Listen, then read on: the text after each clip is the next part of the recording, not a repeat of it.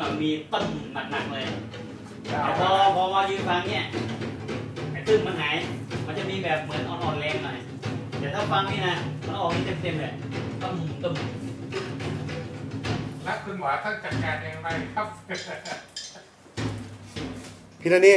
ทำอะไรไม่ได้กลับครับ เกินเดียวยา ดูผู้ชมพี่ มันจะเป็นกับข้าวเหนียวลำโพงไหมเออเนาะกระดกกระดกกระดกพี่อา